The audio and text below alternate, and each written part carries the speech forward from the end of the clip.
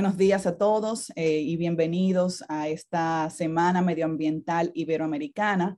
Hoy tenemos eh, la presentación de la eh, sesión de financiamiento para la adaptación al cambio climático. República Dominicana este año se honra de tener la Secretaría Pro Tempore de la Cumbre Iberoamericana para el 2021 y 2022.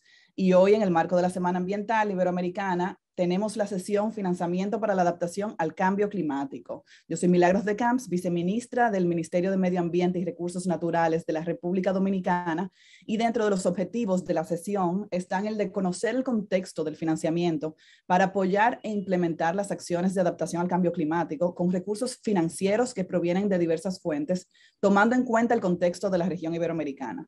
El artículo 9 del Acuerdo de París adoptó el principio de responsabilidad común pero diferenciada, que establece que las naciones desarrolladas deben de proporcionar recursos financieros para apoyar a los países en desarrollo a mitigar los impactos del cambio climático y liderar la movilización de capacidades financieras y técnicas. El financiamiento climático puede tener muchas fuentes diferentes y a medida de que los impactos del cambio climático continúan creando mayores desafíos y amenazas, un mayor número de partes interesadas se están movilizando para invertir y contribuir en los diversos fondos. En esta sesión contaremos con la participación de Gustavo Máñez, coordinador de cambio climático de la Oficina para América Latina y el Caribe de ONU Medio Ambiente, PENUMA, Miguel Ángel Martínez, jefe de Alianzas Estratégicas y Cooperación Internacional del Banco Centroamericano de Integración Económica, y el doctor Víctor Viñas, asesor y miembro de la Junta Directiva del Fondo Verde del Clima. Cada panelista tendrá 10 minutos para su intervención y le exhortamos a que anoten las preguntas a los participantes en el chat que se encuentra en, en la sesión para responderlas al final.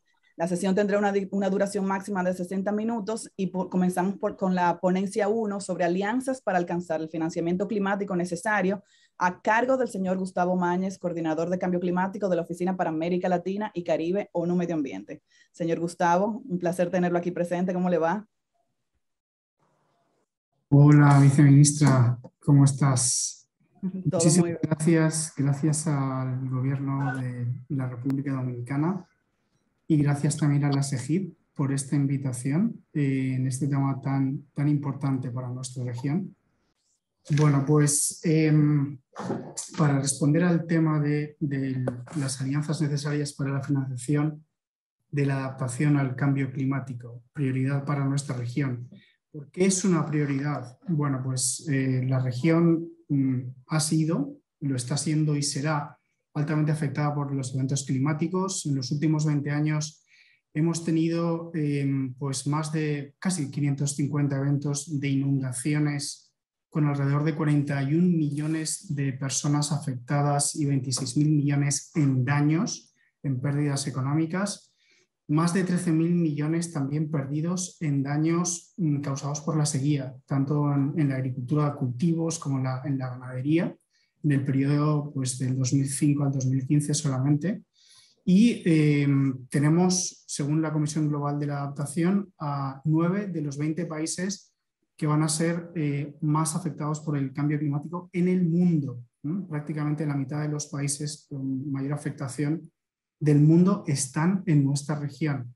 Y para dar un ejemplo, el huracán ETA y OTA solamente en Honduras, en su paso en cuestión de semanas, el año pasado hizo perder más del 9% del Producto Interior Bruto del país. Entonces, las, las, cifras que estamos mencionando aquí pues, son mm, bastante enormes. Eh, también en base a la Comisión Global de Adaptación, se espera que para el año 2050 hayan alrededor de 17 millones de latinoamericanos y latinoamericanas eh, desplazados debido al cambio climático y que alrededor del 3% del PIB vaya a ser perdido eh, debido a los eventos climáticos.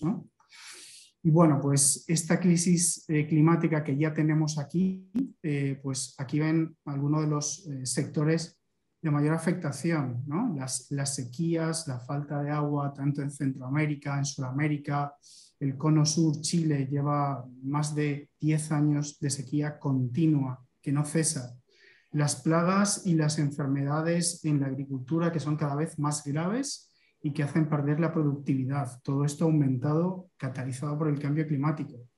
un menor rendimiento agrícola que empobrece a los eh, pequeños eh, productores, sobre todo. Un cambio en la composición de los bosques que lleva aparejado una mayor incidencia en, los cambios hídricos, en la falta de agua. ¿no? Estamos hablando de un sistema interconectado. Inundaciones que, como hemos visto, son multimillonarias y, este, y estos cambios en el clima pues, también llevan aparejados un cambio en la aptitud de los cultivos, como ven aquí también en el caso para Honduras, de la superficie em, que actualmente es apta para cultivar café, a 2050 esta se reduce a un tercio, solamente en un tercio donde ahora mismo se puede cultivar café de manera rentable, va a ser posible en el año 2050. Entonces, los impactos, una vez más, dramáticos. Pero, además de esto, em, nuestra región, debido a su falta de diversificación económica, porque dependemos en gran medida, ya lo sabemos, de agricultura, pero también de la minería, del sector energético en el Caribe, eh, República Dominicana y otros países muy altamente dependientes del turismo, que es un sector pues, que también es muy vulnerable al cambio climático, como sabemos. ¿no? Entonces, toda esta falta de diversificación económica nos hace eh, muy dependientes y hace que nuestro equilibrio fiscal, nuestra balanza de pagos, se vea muy afectada por las variaciones climáticas. Em, aquí tienen una, eh, una, evaluación de Moody's, la agencia calificadora, donde ranquea ya a los países em, en base a su susceptibilidad al cambio climático físico, a los impactos que vaya a tener eh, el cambio climático, pues como hemos visto en, inundaciones, sequías, etcétera, etcétera. Entonces, estamos hablando de una cuestión eh, no solamente social, sino macroeconómica, que, de la cual va a depender la estabilidad económica y financiera de nuestra región. Bueno, em, este es el panorama ahora mismo, pero vemos muchas oportunidades y, sigamos hablando de, vacíos todavía porque me parece importante todavía incidir un poquito más, voy a darle un poquito más de dramatismo al tema. Em, vamos a ver, eh, según también eh, nuestro Adaptation Gap Report, eh, que publicamos todos los años, a nivel global necesitamos alrededor de 8 billones de dólares, no, a, 2050, perdón, 8 billones de dólares para poder cumplir con los objetivos climáticos, de biodiversidad, de degradación de la tierra, o sea, muy relacionados con la adaptación. Anualmente, estas necesidades serían de 536.000 millones de dólares. ¿Qué tenemos a día de hoy? Bueno, tenemos que anualmente las inversiones de estos sectores son de solamente 133.000 millones de dólares, o sea, cuatro veces menos de lo que necesitamos. De ahí que para 2050 vamos a tener una brecha eh, o más bien un foso enorme para poder cumplir estos objetivos y adaptarnos al cambio climático. Por lo tanto, la manera de hacerlo, y aquí hablamos ya de soluciones, ¿no? es cómo reorientamos los flujos financieros que existen en la economía, y tenemos que tener una visión amplia de todos estos flujos financieros, hacia una em, adaptación del cambio climático. Em, y, esta, adaptación anualmente calculamos, y estos son datos de la Comisión Global de Adaptación también, que van a ir aumentando. ¿no? Si, si los costos anuales de adaptación en 2021 son 70.000 millones, eh, a 2050 se estima que sean entre 280 y 500.000 millones. ¿Qué nos dificulta esta, esta reorientación de fondos? Bueno, es la tragedia de los bienes comunes. Una vez más, la adaptación es más necesaria en aquellos sectores que quizá no sean de mercado, que se centran en bienes públicos, los ecosistemas, los bosques, eh, las cuencas de los ríos, etcétera, etcétera, lo cual hace que em, pues, ciertos actores privados no le vean la oportunidad todavía. Y mm, definitivamente lo que vemos es que del financiamiento dirigido al cambio climático, el 95% hasta ahora está dirigido a la mitigación, porque ese, vínculo sí que se ve claramente, como ustedes saben, en la mitigación, pero no en la adaptación. Vamos ahora a hablar también de, bueno, qué argumentos podemos dar para hacer esta, este redirigimiento de los fondos de la adaptación. Bueno, los beneficios económicos hemos calculado también, datos de la eh, Comisión Global de Adaptación, que eh, serían de alrededor de 1,8 billones de dólares si eh, dirigiéramos los recursos a alerta temprana, a mm, hacer la infraestructura resiliente al cambio climático, a mejorar la agricultura de secano, a la protección de manglares, a la mejora de los recursos hídricos, lo cual generaría alrededor de 7,1 billones de dólares en beneficios. Entonces, aquí está el beneficio, ¿de acuerdo? Luego eh, estaríamos hablando de evitar pérdidas, por ejemplo, solamente en el sector de infraestructura resiliente al clima, con una inversión añadida al costo de la infraestructura para hacerla resiliente de un 3%, tendríamos una relación costo-beneficio de un 4 a 1, ¿de acuerdo?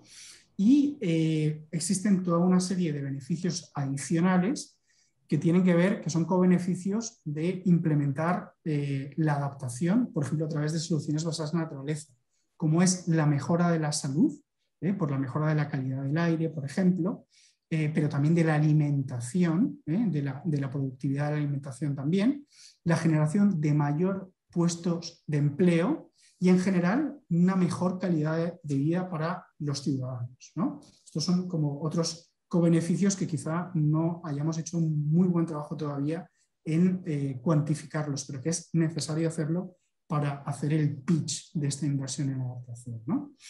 Em, la buena noticia también es que tenemos el Acuerdo de París y el Acuerdo de París es extremadamente claro en que tenemos que hacer que los flujos financieros sean consistentes hacia eh, las bajas emisiones, pero también hacia un desarrollo resiliente al clima. Y esto significa que tenemos una oportunidad histórica de que todas las finanzas, tanto públicas como también privadas, tanto nacionales como internacionales, se alineen para conseguir este desarrollo bajo en emisiones y resiliente al clima. Para eso, ¿qué tenemos que hacer? Bueno, pues tenemos obviamente que ser más efectivos impulsando el financiamiento para la adaptación. Tenemos que hacer un tracking, tenemos que cuantificar y en esta cuantificación yo creo que eh, la mayoría de los países lo hacen muy bien con las inversiones del sector público e internacionales, pero quizá nos falta ahondar un poco más en lo que está haciendo el sector privado porque existen muchas cosas que se están haciendo y no solamente por, por multinacionales, también por empresas nacionales y también, eh, obviamente, eh, el dar una señal a, los países, tanto internacionalmente como a los mercados, que tenemos una ambición alta en adaptación, nos va a beneficiar para traer financiamiento. Eh, lo que los estados pueden hacer de una manera bastante o relativamente fácil es crear condiciones y entornos habilitadores que alineen estos flujos financieros. Y aquí estamos hablando tanto de mecanismos de política pública, em, como pueden ser pues, estos planes de reactivación económica em, post-COVID. ¿no? Tenemos que incluir medidas eh, dirigidas a la adaptación, sector agricultura, sector turismo, em, sector infraestructuras, etcétera, etcétera. Eh, en nuestros planes de financiamiento de las NDCs, acordémonos, las NDCs son, son planes de inversiones tenemos que tener eh, aquí muy claramente este alineamiento con los ministerios de finanzas. Em, nuestros planes nacionales de adaptación sería muy importante también que estén vinculados con todo esto y que tengan una estructura de financiamiento.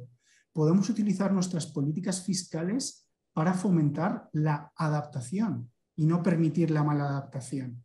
Y obviamente, eh, pues todo lo que es la eh, asignación presupuestaria de los estados, ¿no?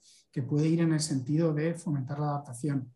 Pero al mismo tiempo, eh, si queremos pasar de los billones a los trillones, tenemos que pensar en la reforma del sector financiero. Tenemos que dar señales muy claras al sector financiero de por dónde deben ir las inversiones. Y aquí tenemos, pues, ejemplos muy interesantes, tanto en la Unión Europea eh, como recientemente en Estados Unidos, de dar eh, señales muy claras a los inversores eh, privados para que cuantifiquen cuál es su exposición, la exposición de sus portafolios de inversiones a los riesgos climáticos. Y aquí pues, se puede hacer muchísimo trabajo en, cuantificar los bancos en qué están invirtiendo en temas de agricultura, en tema de recurso hídrico, etcétera, etcétera, y que sean transparentes reportándolo. Y también más adelante en establecer eh, taxonomías climáticas que orienten hacia dónde deben ir las inversiones. Primeramente de una manera voluntaria, pero después de una manera obligatoria, como por ejemplo ya lo está haciendo el Banco Europeo de Inversiones, que no puede invertir en todos los sectores que tradicionalmente hacía, sino que tiene que ir eh, sus inversiones orientadas a sectores sostenibles y alineados con el clima. Y finalmente, eh, los estados también pueden crear o facilitar la creación de instrumentos de financiamiento que eliminen el riesgo de las inversiones climáticas, como son los seguros, como son las garantías, como son los bonos, los bonos de mercado, los bonos verdes, que solamente el 5% de los bonos verdes a día de hoy están dirigidos a la adaptación. O sea, ahí tenemos un foso enorme todavía. Em, los bonos de canje de deuda, los, los eh, Debt for Nature Swaps, ¿no? que ahora se está hablando muchísimo de ellos. Y existen ejemplos previos en la región. Costa Rica ya lo hizo con la cooperación española previamente. Se trata de replicar lo que ya se ha hecho. En promover blended finance, y más adelante voy a hablar de ejemplos concretos de cómo hacerlo. Eh, promover asociaciones público-privadas, inversiones de impacto, por ejemplo. ¿no? Y esto va a necesitar que seamos eh, creativos, que nos salgamos de nuestras zonas de confort, porque hasta ahora el financiamiento de la adaptación hemos pensado que tiene que ser público, a través de todos estos actores que vemos arriba, ¿no? gobiernos, fondos internacionales, bancos de desarrollo, agencias de cooperación, etcétera, etcétera. Pero tenemos que incluir a todos estos privados que tenemos abajo haciéndoles ver la oportunidad de negocio que, tienen ahí. Y ya tenemos algunos ejemplos, ya que estamos hablando de alianzas muy creativas, donde estos actores de arriba, públicos, y de abajo, privados, tanto nacionales como internacionales, están dando resultados y canalizando financiamiento para la adaptación, em, que va desde sistemas de alerta temprana, el refuerzo de la infraestructura adaptada al clima, eh, agricultura eh, sostenible ¿no? y adaptada al clima, etcétera, etcétera. Y para hablarles de, algunos ejemplos, pues les quiero mencionar algunos de los que desde el programa de la ONU para el Medio Ambiente hemos trabajado, como por ejemplo en la iniciativa de microfinanzas para la adaptación basada en ecosistemas, MEVA, donde a través de una pequeña donación mm, de unos 5 millones de dólares en, Colombia y en Perú trabajamos eh, con eh, unas seis entidades microfinancieras para que eh, formarles, ver la oportunidad en sus préstamos, sus micro, préstamos microfinancieros de pequeña escala hasta 1.000, 1.500 dólares, cómo los podían dirigir hacia la adaptación. Y acordémonos que los pequeños campesinos son de, nuestra región son prácticamente la gente que tiene menos acceso a entidades crediticias y financieras. Solamente alrededor del 10% de los pequeños productores tienen acceso a financiamiento. Muchos de ellos tienen que ir a través de estas entidades microfinancieras. Entonces, eh, a través de, este, de esta capacitación, a través de hacerles ver los beneficios de una agricultura adaptada al cambio climático eh, y una mayor rentabilidad que podían obtener, pues estas entidades microfinancieras dieron alrededor de 30 millones de microcréditos, llegando hacia casi, casi 18.000 pequeños eh, campesinos en estos dos países andinos. Otro ejemplo, y, estoy muy contento aquí de tener a nuestro socio del, del Miguel Méndez, eh, un, proyecto liderado, de hecho, por el BECIA, que, esperemos sea eh, prontamente aprobado por el Fondo Verde del Clima, Em, donde nosotros hemos apoyado técnica y metodológicamente, lo que hace es un paso adicional y aumentando la escala del financiamiento em, a través de las microfinancieras, combina ¿eh? blended finance, combina donación, préstamo y garantías para construir la resiliencia en el corredor seco centroamericano y las zonas áridas de la República Dominicana a través de las microfinanzas que aceleran pues, este tipo de medidas de adaptación de en la agricultura. ¿no? Una vez más, agricultores de pequeña escala que son los más afectados, los que se van a ver más afectados por el cambio climático. ¿no? Em, pero también en el ámbito urbano. Acordémonos, en el ámbito urbano viven alrededor del 80% de los ciudadanos de nuestra región. las oportunidades y los impactos de la adaptación son altísimos. A través de City Adapt hemos trabajado en tres países, en Salvador, eh, eh, Jamaica perdón, y México, para promover la resiliencia en áreas urbanas. Y, por ejemplo, aquí lo que vemos es que en este proyecto se han identificado medidas innovadoras de, política pública, como por ejemplo eh, la creación de una tarifa en la ciudad de Jalapa, México, que lo que va a hacer es eh, establecer un canon para el recurso hídrico para conseguir la sostenibilidad y la protección de las cuencas eh, río arriba para que nos llegue más agua y, más limpia. ¿no? Entonces, son todo estos mecanismos financieros interesantes, pero también eh, una iniciativa en la que también hemos colaborado, el Restoration Seed Capital Facility, eh, junto al gobierno alemán y el de Luxemburgo, cuyo objetivo es estimular a administradores de fondos privados para que establezcan eh, fondos de restauración de bosques y paisajes a través de la construcción de proyectos que, em, que cierren financieramente. ¿no? Entonces, se les da, digamos, un, un, em, un, incentivo a estos fondos de inversión para que integren temas de bosques y temas de adaptación.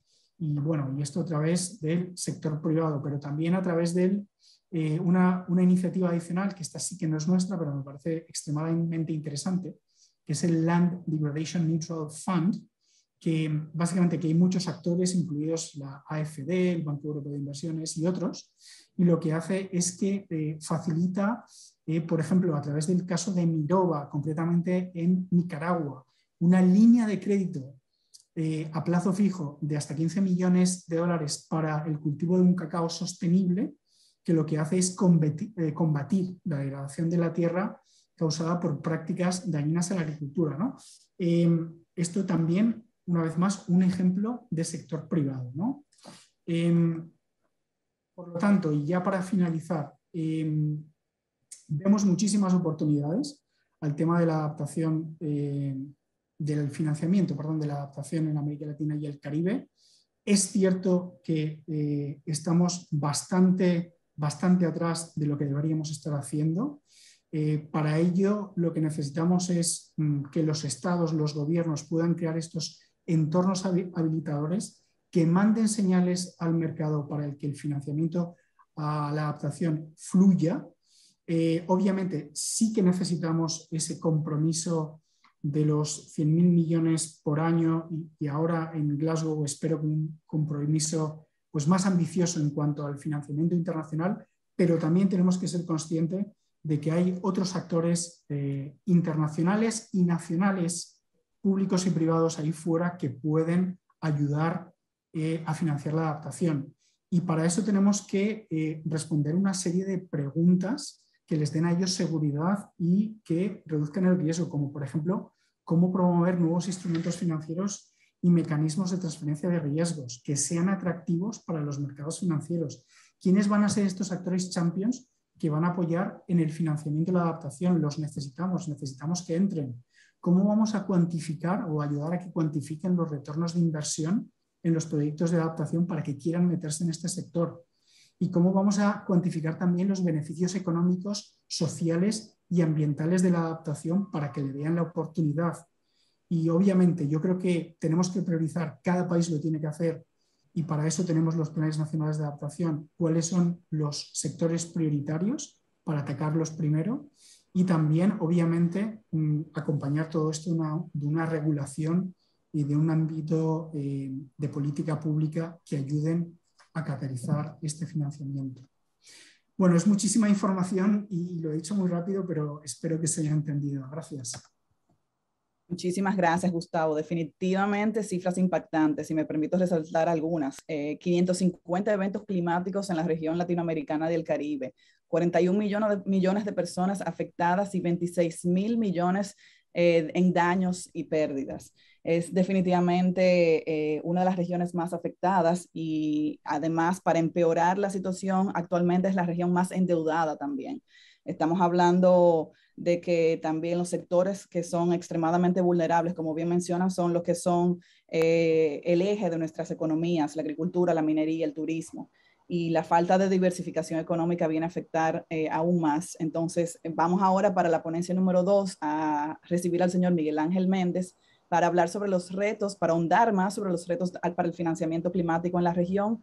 Y él es el jefe de alianzas estratégicas y, de cooperación internacional del Banco Centroamericano de Integración Económica. Bienvenido, Miguel. Eh, muchas gracias, eh, señora viceministra. primero que nada, muchas gracias por, por la invitación.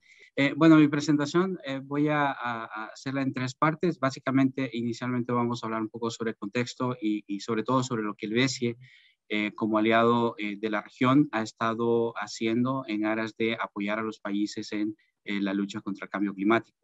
segundo, vamos a enumerar algunos retos que nos hemos encontrado y que creemos que son vigentes todavía.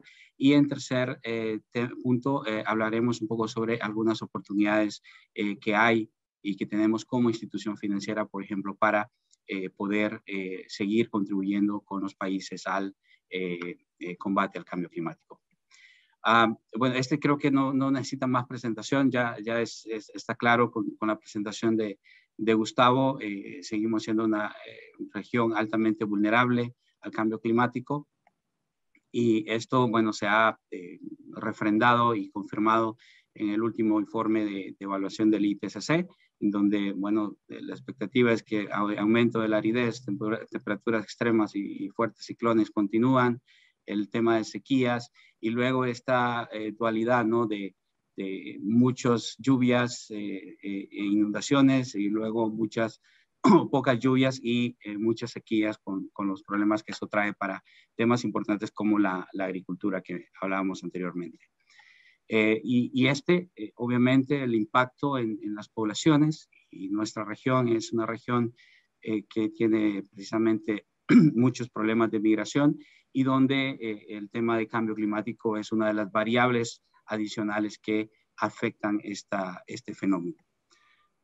En ese sentido, bueno, el BCE sigue trabajando y, muy comprometido con, con el apoyo a, las, a, a los países miembros eh, para poder eh, lidiar, digamos, con los efectos de cambio climático a través de su rol, que básicamente es canalizar recursos financieros para eh, poder apoyar a los países en el financiamiento de las actividades de mitigación y adaptación al cambio climático. Y esto está refrendado por declaración de la alta, digamos, autoridades del, del, BCE, como la Asamblea de Gobernadores, tanto en 2016 como también eh, una, eh, una, una, declaración en 2019 sobre eh, el, el, ya no financiar actividades que generen emisiones a través de, carbón.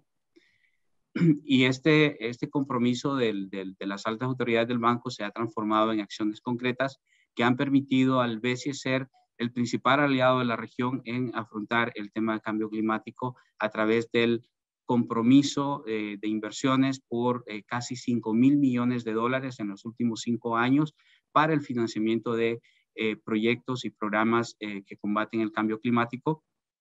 Y en este sentido, básicamente comprometiendo el 40% de nuestros recursos en este tipo de actividades, lo cual es un eh, monto, eh, es, perdón, es un porcentaje bastante alto en comparación a, toda la demás banca multilateral y por ende eh, reafirma el compromiso de nuestro banco en acompañar a la región en este proceso. Y esto no lo hacemos solo, obviamente lo hacemos a través de o con otros socios eh, que, nos apoyan en canalizar recursos financieros hacia la región, y especialmente hacia temas de cambio climático. Tenemos Banco Europeo de Inversiones, KfW, AFD, OIB, eh, JBIC, entre otros, eh, a través de unos mecanismos de líneas de crédito que tenemos con ellos para financiar cierto tipo de operaciones. Y también tenemos alianzas con o acreditaciones ante fondos globales como el el Fondo Global para el Clima, el Fondo Verde para el Clima, el Fondo de Adaptación, eh, la Unión Europea, a través de los cuales eh, podemos generar eh, diferentes iniciativas, sobre todo de blending o iniciativas que permitan llegar a niveles de, a través de microfinancieras, llegar a, la, base de la pirámide, digamos, y poderles apoyar en poder manejar los temas de, de, cambio climático y por ende enfrentarlos de mejor manera. Y en ese sentido, con el Fondo Verde hemos logrado ya aprobaciones por un monto de 350.9 millones para tres operaciones, una eh, regional que es cambio y básicamente va a apoyar eh, medidas de adaptación al cambio climático, otra en Nicaragua que es programa de bioclima que, que, apoya lo que es eh, mitigación, pero también aumenta la resiliencia de más de 600 mil personas en áreas con mucha participación de personas indígenas y afrodescendientes en, lo que es la, costa caribe nicaragüense y un proyecto insignia eh, de, la región y de Costa Rica en particular, que es el proyecto del tren eléctrico eh, de pasajeros en, la región metropolitana. Entonces, esos son algunos aspectos que hemos logrado con el Fondo Verde para el Clima y como lo mencionó eh, Gustavo en su presentación, estamos cerca también de eh, lograr la aprobación de otra, eh, otro programa muy importante para toda la región que precisamente viene a apoyar esfuerzos de adaptación al cambio climático como es el, programa del corredor seco. Y eh, no solamente nos quedamos allí, también hemos estado muy activos en los últimos años precisamente en movilizar recursos para financiar actividades de, de, cambio climático en la región a través de eh, emisión de bonos eh, verdes y no solamente verdes, sino también estamos incorporando el tema de eh, bonos sociales, bonos de ESG en, en, general, que nos permitan, digamos, aumentar el monto de financiamiento para contribuir al, al, desarrollo sostenible de la región. Y bueno, ese es en, en, una introducción sobre lo que estamos haciendo. Ahora, obviamente, falta mucho por hacer. Y en ese sentido, eh, aquí queremos enumerar algunos retos. Mucho de lo que está aquí ya ha sido eh, de alguna manera tocado en la, en, la, en la, presentación anterior, pero creo que es importante eh, reafirmarlo acá. Y, y, para empezar, el principal reto es simplemente necesitamos más recursos. Y, y, y, sobre todo, no recursos tanto para, bueno, sí, para, para mitigación, pero también tenemos que hacer un enfoque en adaptación. Ya, en nuestra región su principal problema es precisamente adaptación y ahí todavía estamos bastante eh, cortos, digamos, de eh, movilizar recursos hacia este tipo de actividades. Y solamente como un dato, a pesar de, de, la alta vulnerabilidad de la región, apenas 6.8% del total de compromisos del Fondo Verde para el Clima vienen hacia la región centroamericana. Y cuando me refiero a la región centroamericana, estoy hablando de lo que es en el marco del SICA, que incluye también eh, República Dominicana. ¿no? Y eh, otro tema también que para hacer que estos flujos de recursos sean eh, más, más grandes y sobre todo más expeditos, todavía el proceso de aprobación, formalización de los mismos puede tener una, una, área de mejora para, para, lograr que los mismos se puedan generar y entregar en tiempo y forma, ¿no? Porque las, los problemas están ahí, no van a esperar eh, eh, eh, temas de burocracia y todo lo demás. Entonces, aunque hay un avance en esto, yo creo que es importante todavía acelerar un poco más este proceso. Y esto no solamente está desde el punto de vista de quien provee el financiamiento, sino también desde quienes necesitan el financiamiento. Y aquí esto va con el siguiente reto, que al final del día no podemos pedir o esperar que vengan grandes flujos de recursos financieros si no tenemos todavía una capacidad instalada bastante robusta en lo que es la generación y formulación de proyectos de inversión bancables en cambio climático. Y eso se conecta con dos temas. Uno es con eh, las capacidades mismas de, los gobiernos para poder planificar, priorizar inversiones públicas en cambio climático.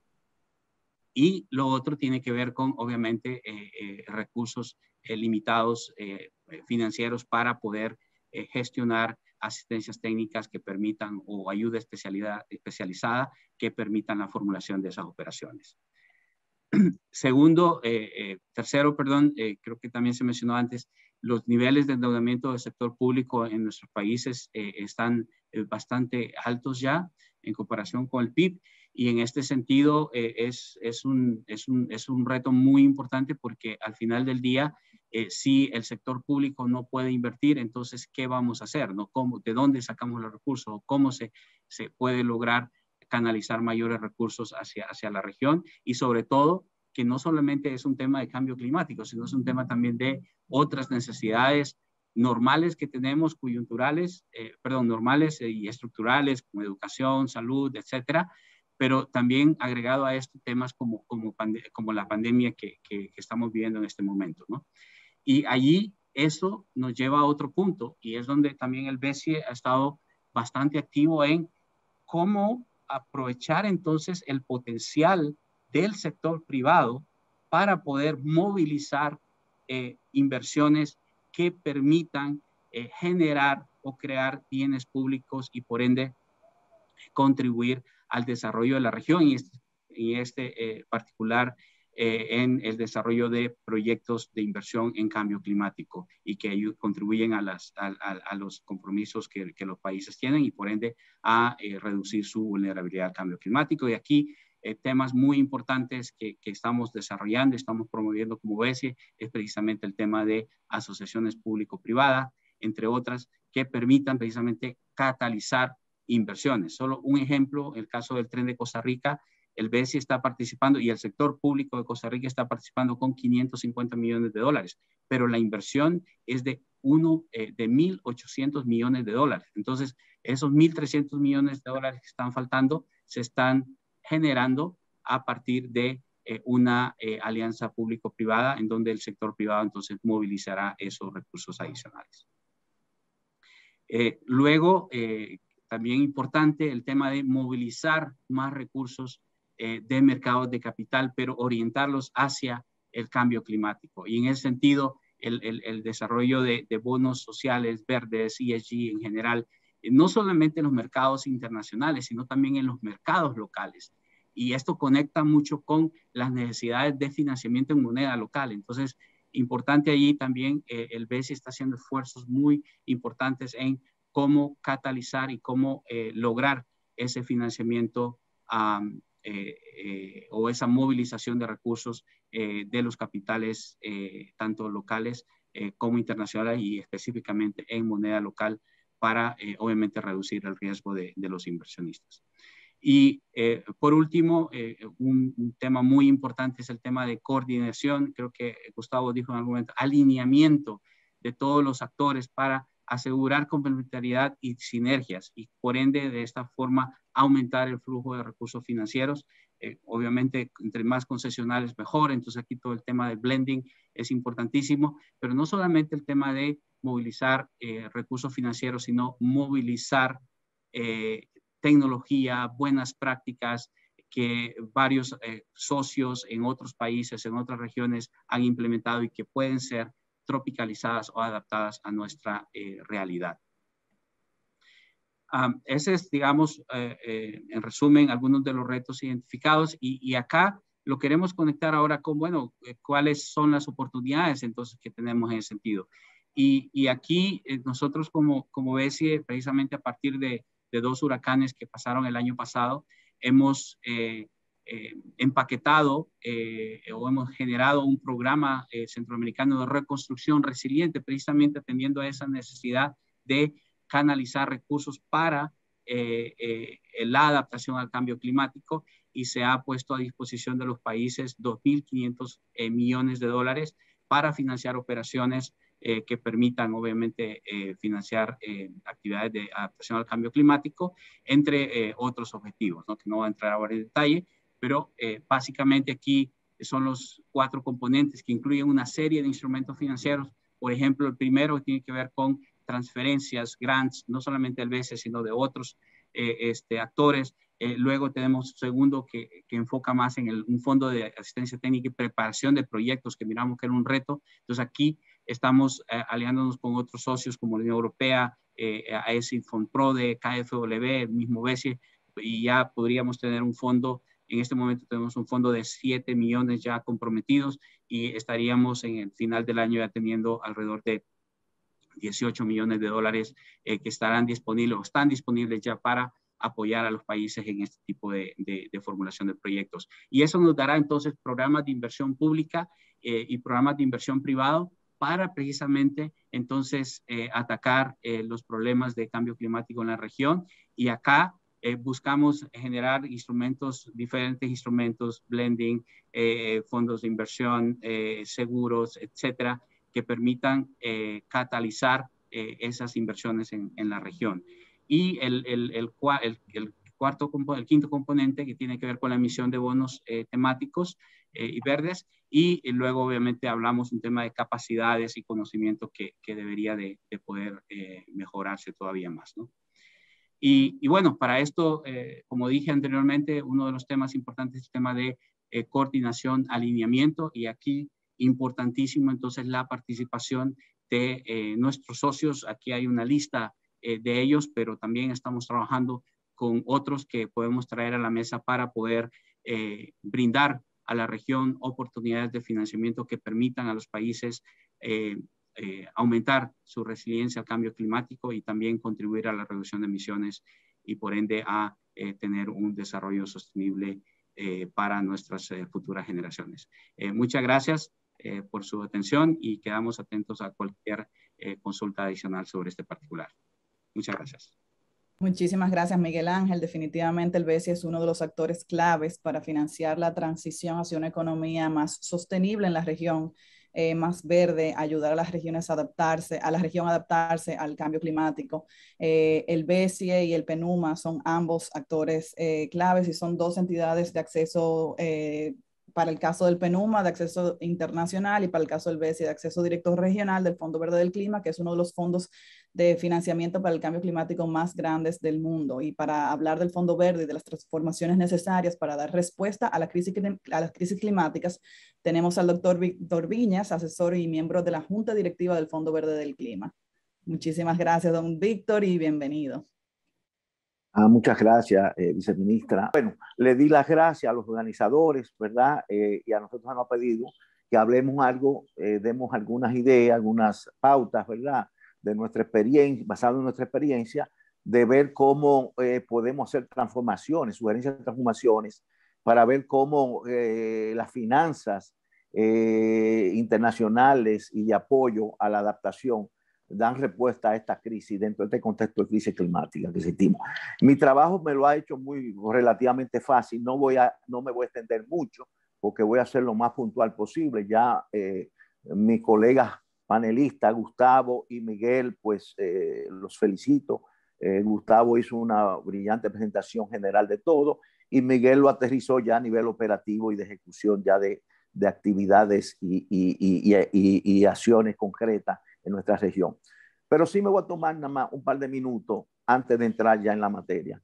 Eh, a mí me gusta siempre recordar de dónde viene. Eh, históricamente siempre se habló de financiamiento, ¿verdad? Pero toma mucha fuerza, mucha fuerza eh, a partir de, de, Copenhague, ¿verdad? la cumbre de Copenhague, luego ese rescate al sistema multilateral que el país México ejerció, donde ahí finalmente se determinó que había que crearse el Fondo Verde. Eh, y luego, eh, en la posterior, en Durban, se oficializó, se instaló, ¿verdad? Y de ahí es que nace el Fondo Verde del Clima. Y hablo del Fondo Verde del Clima porque no es el único, pero es el que se puso eh, más énfasis, más se destacó.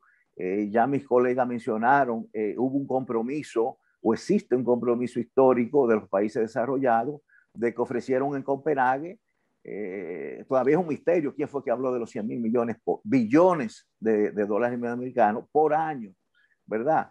Eh, también se habló de que esa ayuda, eh, ese capital iba a ser invertido en los países menos desarrollados, menos avanzados, las islas, etcétera, etcétera, y que iban a ser principalmente, si bien es cierto para mitigación, pero iban principalmente a ir a adaptación, por lo menos en un 50-50 y que una cosa muy importante para países como los nuestros, eh, en Iberoamérica, ¿verdad? Principalmente los pequeños estados insulares, Centroamérica, era que iban a ser donaciones.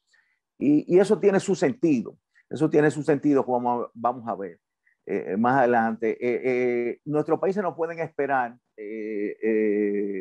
Miguel, Gustavo, perdón, brillantemente definió las necesidades, la actualidad las brechas, etcétera, etcétera. Y eh, Miguel pues mencionó algunas eh, opciones que hay.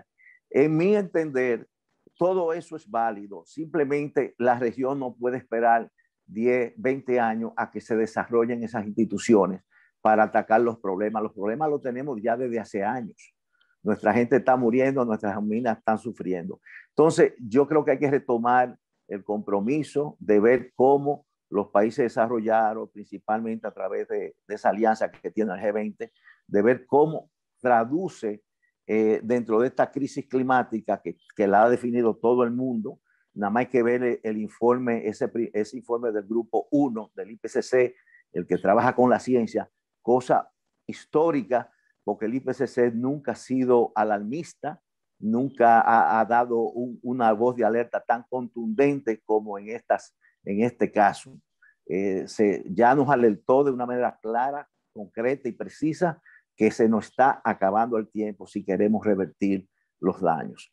Dicho esto, entonces, eh, obviamente, eh, países como República Dominicana y gran parte de los países principalmente los pequeños en nuestra región, eh, estamos contribuyendo, hemos actualizado nuestra NDC, hemos hecho una revisión a nuestra NDC con una mayor ambición, independientemente, como ya mencionaron algunos de, mis antecesores, eh, panelistas, eh, la región prácticamente no contribuye al problema, pero sí, sí, como mencionó Gustavo, es donde están la, mayor parte de los países que más sufren los efectos. Entonces, eh, es una contradicción, sin, ¿verdad? Pero es unos efectos que nosotros no controlamos. En el caso dominicano, por ejemplo, eh, el anterior NDC, la original era un 25%, eh, ahora se, en, en, diciembre se entregó oficialmente, se aumentó un 27%, con una, con una ambición mayor, porque antes era condicionada a todo que nos lo apoyaran el financiamiento. Eh, eh, y ahora pues eh, nada más estamos condicionando de ese 27% el 20% a, a, financiamiento y el sector público, ese 7% va a tomar una parte y el sector privado. O sea que hemos avanzado, estamos avanzando, pero yo creo que nuestros países están llegando ya a un punto donde no pueden hacer más por sus propios medios. Si no viene esa ayuda que tanto necesitaba, y todo esto se ha agravado, vemos que, ¿verdad? Mencionaron dos o tres experiencias de los huracanes, las inundaciones, etc. Todo eso se nos ha agravado aún más con la, pandemia, el COVID-19. O sea, la región tuvo prácticamente más de un año paralizada, igual que el mundo, ¿verdad? No, no vamos a decir que fue exclusivo para nosotros. Apenas estamos ahora eh, resucitando, si se quiere, o relanzando nuestras economías, Alguien mencionó el turismo. Muchos países nuestros, eh, pues, eh, trabajamos, de, vivimos, ¿verdad? Un factor importante en, el Producto Interno Bruto es el turismo. Eh, vemos cómo el cambio climático no ha creado un nuevo problema, que no es nuevo, pero se ha convertido por la gravedad, el famoso sargazo, que viene de, del mar del, del, océano Atlántico, ¿verdad? Hay un mar todo ahí grandísimo, lleno de sargazo que no son más que algas en descomposición, producto de un aumento en la temperatura del mar. Bueno, dada esa grabación, por ejemplo, en República Dominicana, eh, el COVID eh, nos ha hecho endeudarnos a un extremo que, que, realmente prácticamente no vamos a poder casi coger más, no vamos a poder tomar más prestado, muy poco, ¿verdad? Para asunto de inversión, pero ha sido la, la urgencia y la, y la emergencia. Bueno, dicho todo esto, ¿cómo vemos nosotros, basado en nuestra experiencia, porque la tenemos en los últimos 10 años nosotros hemos estado básicamente trabajando en finanzas climáticas y desde el punto de vista específico con el proceso de cambio climático de Naciones Unidas, pues en el Fondo de Adaptación y en el Fondo Verde del Clima. Eh, nosotros sí recomendamos, y ya lo mencionaron los que me antecedieron, hay que aumentar.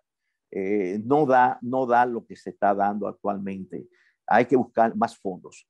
Eh, si bien es cierto que se anda eh, para adaptación, como estamos hablando de adaptación, no le es muy atractivo al, al sector privado, porque es un bien público, en un sentido, la, la tragedia de los comunes, ¿verdad? Eh, pero es, es, por ahí que tenemos que trabajar. Tenemos que trabajar, me parece que fue Miguel que lo mencionó, aumentar la resiliencia, la capacitación de, nuestro, de nuestros ciudadanos, movilizar, mover de sitios vulnerables para evitar males mayores.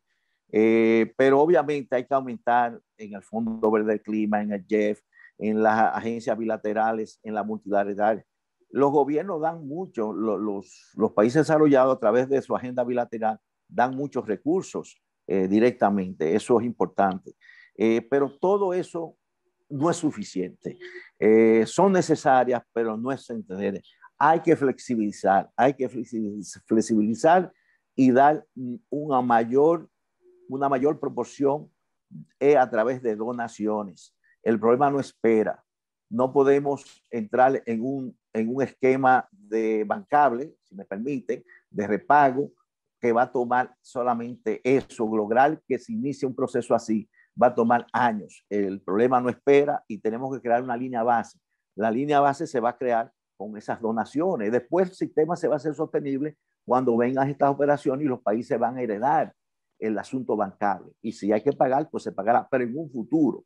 Ahora lo que necesitamos es eso. Se mencionó, me gusta la idea. Yo creo que ha llegado el momento de retomar esa idea que dio tantos frutos buenos. Eso fue por naturaleza. Los cajes de deuda una manera también de que los países nacional, a nivel nacional puedan destinar más fondos a poner de sus recursos, de sus propios recursos a cambio climático, acciones de cambio climático, es que se le libere de la, del peso de la deuda, ¿verdad? De pago esa deuda. Y una manera podría ser el caje de la deuda, ahora no por naturaleza, sino pero para asuntos de cambio climático.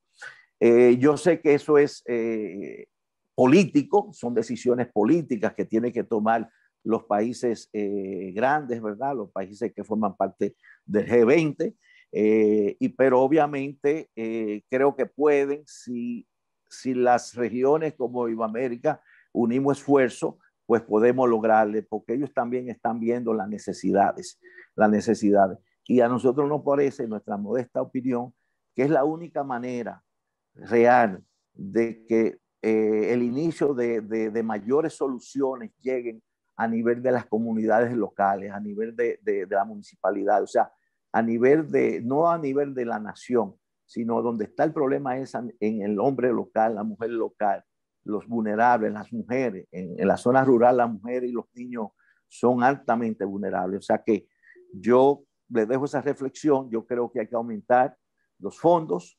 eh, eh, drásticamente pero al mismo tiempo que se aumente, tienen que haber una voluntad política de los gobiernos eh, que contribuyen a eso y de las organizaciones como el Fondo Verde de Clima que tienen que flexibilizar y empezar a hacer más donaciones. Flexibilizar, entiendo, es que si bien es cierto que se garantice un proceso para que los fondos vayan a donde tengan que ir, no es menos cierto que no le pongamos tanta traba eh, y Miguel, eh, Miguel conoce de eso, eh, a veces se toma varios años simplemente lograr un financiamiento con tantas regulaciones, tantas cosas.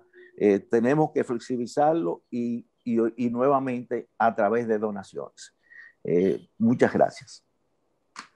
Muchísimas gracias, don Víctor. Muchísimas gracias, Gustavo y Miguel Ángel, también por las ponencias del día de hoy. Eh, quiero resaltar que precisamente todo lo que se conversó el día de hoy está eh, alineado a las prioridades que, tenemos, que tiene la región para llevar a las negociaciones de la conferencia de las partes a celebrarse en Glasgow en noviembre de este año. Precisamente eh, mayor financiamiento a la adaptación para el cambio climático en toda la región, facilitar el acceso al financiamiento climático, como acaba de mencionar don Víctor, que es una necesidad urgente eh, por los largos procesos que hay de aprobación y de eh, conocimiento de los proyectos que se someten a los fondos de, cambio climático, aumentar la capacidad para formular proyectos bancables o, tener, o preparar proyectos que ya estén listos para someter, que sean adaptados a las prioridades de los países, eh, operativizar los mecanismos de pérdidas y daños para financiar los efectos de los eventos climáticos que, que sufrimos tanto en la región, finalizar el libro de reglas eh, del Acuerdo de París, el artículo 6 que va a ser negociado este año, eh, mecanismos de financiamiento innovadores como el canje de deuda por clima, por naturaleza, que precisamente República Dominicana está trabajando en eso, mayor coordinación entre los ministerios de Economía, de Hacienda y de Medio Ambiente. Esto es muy importante para alinear y transversalizar cambio climático en todos los planes, proyectos y programas de los países. Hacer bonos eh, blended finance eh, estructurar bonos verdes de resiliencia sociales y empujar para lograr los 100 billones prometidos en el Acuerdo de París. quisiera finalizar la sesión del día de hoy con algunas, con, algunas conclusiones de los participantes, de los ponentes que están aquí eh, eh, que muy amablemente nos donaron su tiempo el día de hoy. Quisiera comenzar con Gustavo si tiene algunas conclusiones eh, de la sesión del día de hoy. Bueno, resaltar una vez más el tema de la urgencia y estoy de acuerdo con lo que han dicho los ponentes. Señor Viñas, esto no es para aquí 10 años, esto es para ayer. Entonces, esto depende de nosotros, depende de los gobiernos, depende de todo este ecosistema de instituciones que estamos trabajando en el sector, de salir ahí fuera y, obviamente están todos estos proyectos que estamos planificando. El BECI ha hablado de muchísimos proyectos ambiciosos con el Fondo Verde del Clima, pero mm, desafortunadamente los tiempos del, del Fondo Verde del Clima no están acordes a la necesidad. De ahí que hay que salir ahí fuera con todos estos instrumentos de política pública, con todos estos incentivos a, actores nuevos, a convocarles a eh, meterse en este sector. ¿no? Para mí eso sería uno de los key takeaways de lo que hemos hablado hoy. Gracias. Muchísimas gracias, Gustavo. Miguel Ángel. Eh, no, primero que nada, gracias por la, invitación y, segundo, eh, tal vez resaltar eh, que, como banco estamos muy comprometidos con, la lucha ah, contra el cambio climático que, es necesaria en la, región.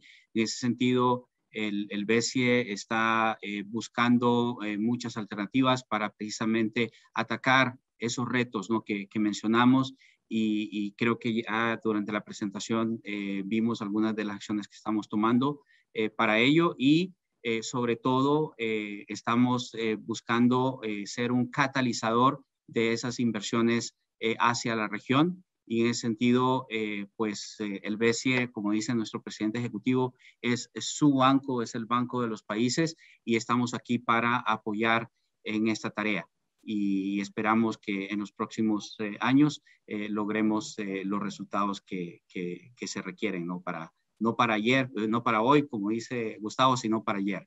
Eh, muchas gracias. Hasta luego. Muchísimas gracias, Miguel Ángel. Y don Víctor, le paso el micrófono a usted para las palabras de cierre, eh, las, conclusiones finales. muchas gracias, viceministra. Bueno, en mi caso, pues me asocio con lo que comentaron mi, mi, colega panelista y solamente, ya que creo y los apoyo, creo que esas son condiciones necesarias pero como economista me gusta, me gusta utilizar, no son suficientes. La suficiencia no, me, no importa qué mecanismo nuevo, innovador, qué alianza pública-privada hagamos, qué, nuevo, qué nueva institución financiera venga a ayudarnos. La clave está, porque en eso sí estamos todos de acuerdo 100%, no es para, no es para hoy, era para ayer. Entonces, es cualquiera que venga en apoyo, gobierno, sí, privado, por negocio, por no negocio, etcétera, etcétera, tienen que ser procesos expeditos y donados, por lo menos eh, eh, en, el, en el mediano plazo, hasta que nuestro país se cree en una línea base. Y de ahí para adelante podemos hablar de instrumentos bancables, instrumentos de mercado con reparto. Muchas gracias nuevamente a los organizadores. Esperamos, perdón, si me excusa, esperamos, yo creo que usted lo mencionó, señora viceministra, yo creo que Glasno se va con un espíritu eh, de los países pequeños, eh, medianos, y creo que muchos de los grandes van con un espíritu de que Glasgow tiene que producir eh, soluciones, ¿verdad? propuestas, opciones de todo esto que acabamos y felicitamos nuevamente a la cooperación española en su semana iberoamericana. Muchas gracias.